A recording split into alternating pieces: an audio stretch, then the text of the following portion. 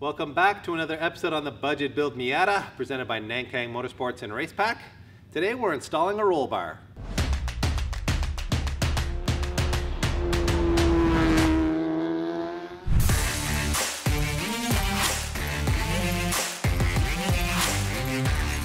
When we first decided to build the Miata, we were looking at different options for safety, and it just so happened that the guys from BOFI Racing in the UK reached out to us and said, hey, we've got some interesting options for you in terms of roll bars. They sell a full line of roll bars from a company called GC Fabrications, also out of the UK, who make very nice looking roll bars. This is their GCR roll bar. It's the most uh, race oriented of their, of their four point solutions, you could say. It's got obviously this big X brace in the back. It's got an integrated harness bar here. And it, it does intrude a little bit more into the seating uh, range of motion than their other bars, which are designed to sit up on top uh, on the top shelf. But this is considered their strongest uh, roll bar, and we decided we wanted to go with the, the safest setup we possibly could. There's, they also have these optional door bars, which I think are pretty cool. As you can see, they bolt to the lower mount here and run down to the front side sill area. But we're not 100% sure if we're going to be able to fit these in because having taken a look at the Recaro pole positions in there, there's just not a lot of room to go down the side of those seats. So we'll do the best we can to fit these up, but if we can't, then uh, the reason we opted for these is really they provide a lot more chassis stiffness. By stiffening up that large door opening, and obviously with an open top, this does provide a lot more chassis stiffening. So apparently guys that who run these say you, you really can feel the difference in chassis stiffness by running these. We're gonna get down to business of installing this bar, which is uh, fully MSA certified. So MSA is the Motorsport Association in Great Britain. They're like the sanctioning body. They're like the UK's SCCA. So this bar is built to meet those specifications, which will meet and exceed uh, rollover protection standards here in North America as well. So this bar will pass any tech inspection, whether it's SCCA, NASA, European, you name it. And believe it or not, it was actually very affordable to ship this here from the UK. Had we shipped a bar, say, from California, it would have cost more than it cost to ship this bar from the UK to us here in the Toronto area. So for all you Canadians who are looking at roll bar options, I think it really is worth looking at BOFI Racing and GC Fabrications because it's a very affordable way to get a very high quality roll bar for, for your Miata. This bar fits the NA and the NB1 and NB2. We also have roll bars for all kinds of other stuff.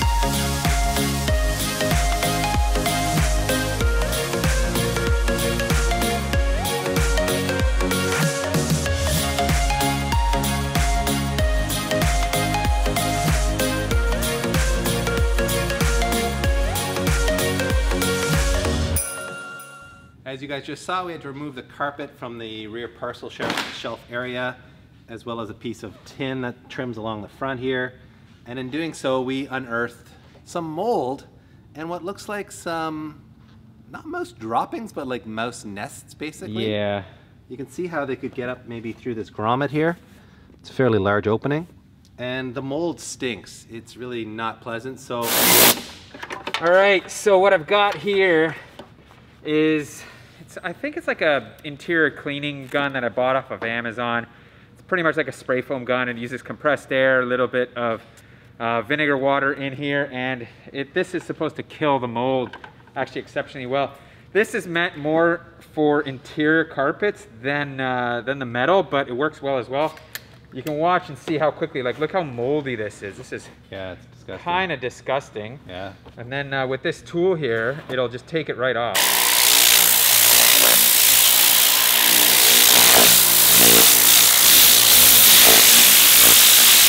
Like, look at that. Look at the difference there, right? Impressive, so yeah. really impressive. So I'm just gonna do a little bit more here and I think we could officially call this thing deodorized of mold.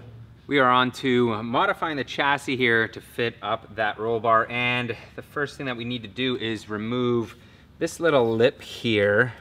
And what I've done is bust out the spot weld cutter kit.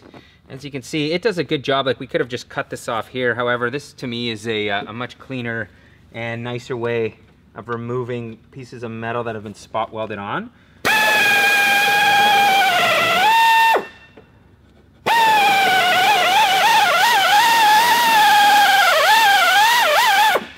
Okay. Damn, wow, there that. you go. Look at that. Came off nice and clean. Yeah, super clean. I didn't drill through the metal on the other side, which is good. The next step here is we are going to have to cut these two areas out on both sides in the back there so we can fit the roll bar hoop into the back. There we go.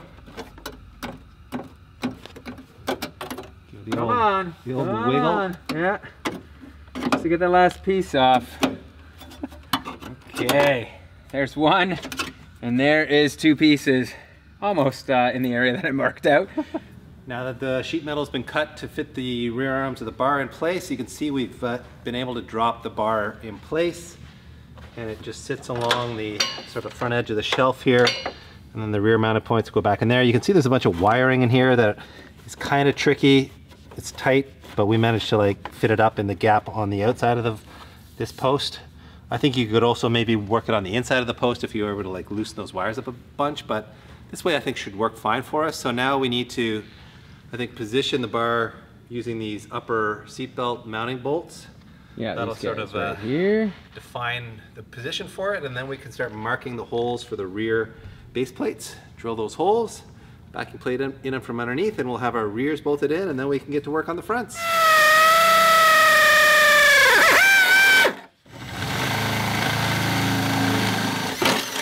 So we've just dropped our GC Fabrications supplied hardware through these holes back here. These are all graded to the right strength for a roll bar like this. And the plastic trim work that we did turned out great. Everything fitted perfectly as far as the roll bar goes. So we trimmed this part out here, trimmed the tops of the towers off, and we trimmed along the back here as well. You'll notice though that that metal ridge that we, that we took off with the uh, spot weld remover, I'm not sure we actually need to do that. I realized that we were following the instructions on GC Fabrication's Facebook page for one of their simpler bars that doesn't mount down here. It actually sits up in here. The, the main hoop sits up in here. So it's not as wide a bar. This is obviously more of the race-oriented roll bar, so it's as wide as it can be.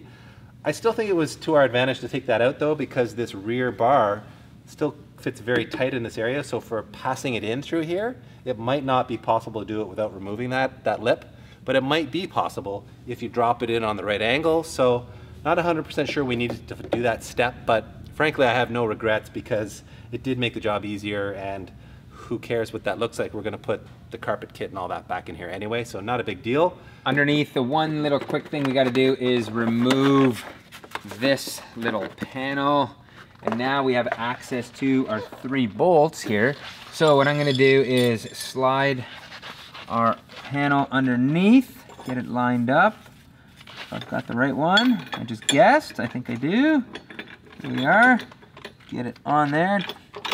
Now we'll get these nuts in place with washers. We are down to the home stretch here. I just bolted up the seat belts and I love that they integrate the factory uh, belt into the system here so you can still drive around on the street with your three-point belt. And the last thing we gotta do is drill a couple more holes, four to be exact here. So this is gonna be the easy part. I don't have to mark anything. Just gotta send it.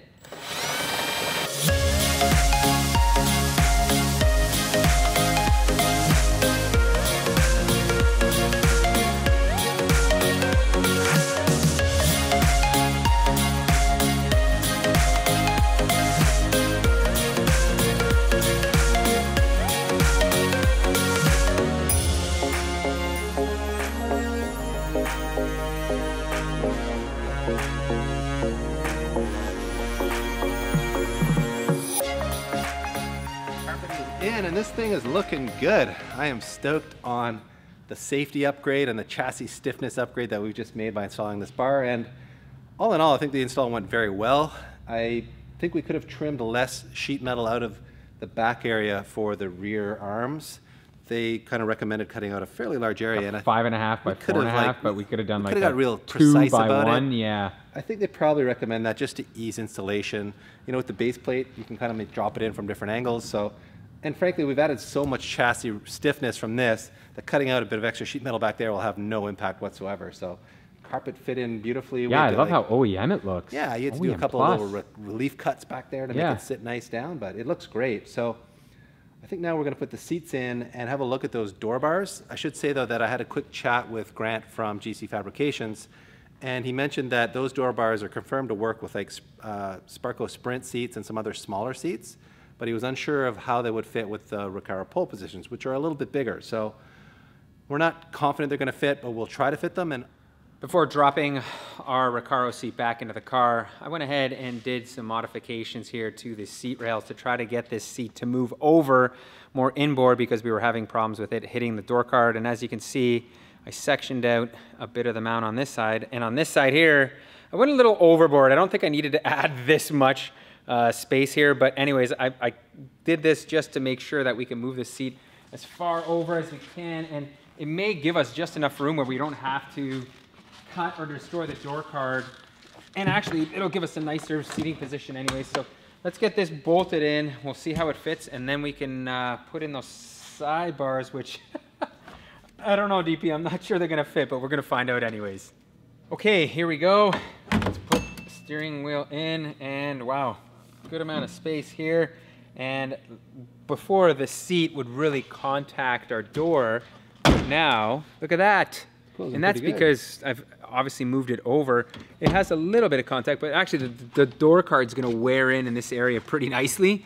So at first I was worried we were gonna have to cut it, but it doesn't look like that's gonna be the case. Look at that, it closes with that little effort, and uh, we are good, DP. Yeah. I really like the seating position here. It's, it's, tight. It's a Miata, so it's tight.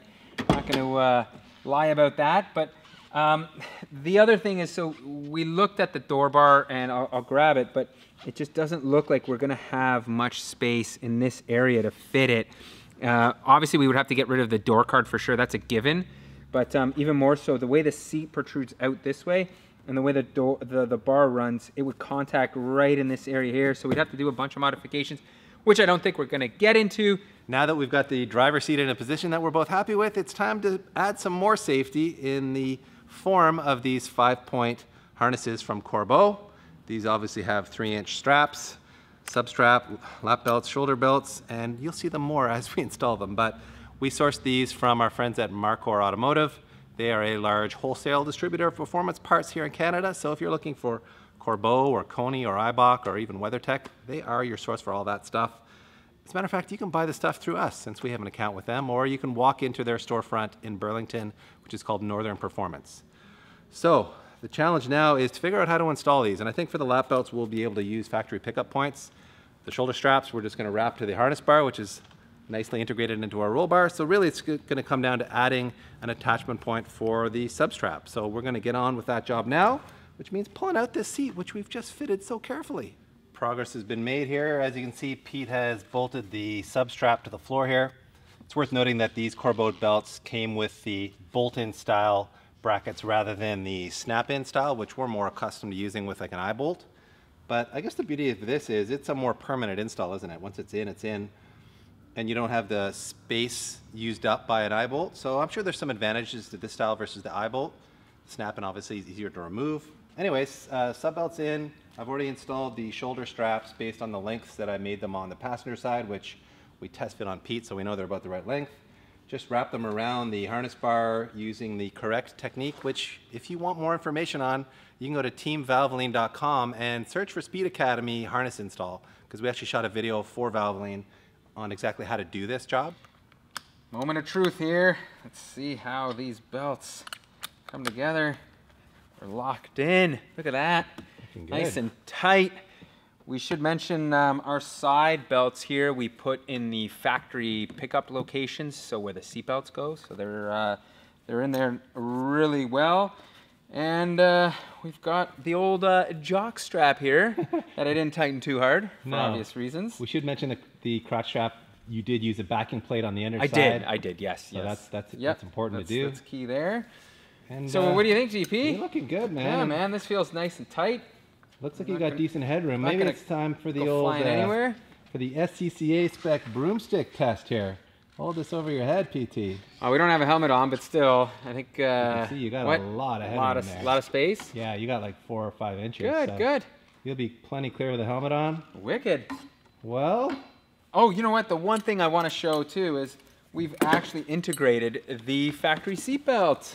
Oh, so. Yeah if we it- pull I this. kinda tucked it in there Yeah, no, it's okay. We, we just uh, have to fight space constraints here, but you got to like do it this way here. It's all right. There you go. There we go, like that. And then what we can do is look at this, cruising on the street.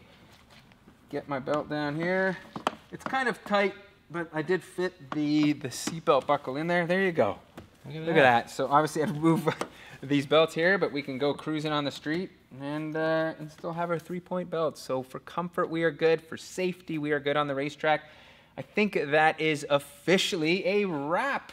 So thank you so much for watching. If you enjoyed this video, make sure to hit the notifications bell. Before you subscribe, before you like, hit that notification bell because it keeps you uh, up to date on all our videos.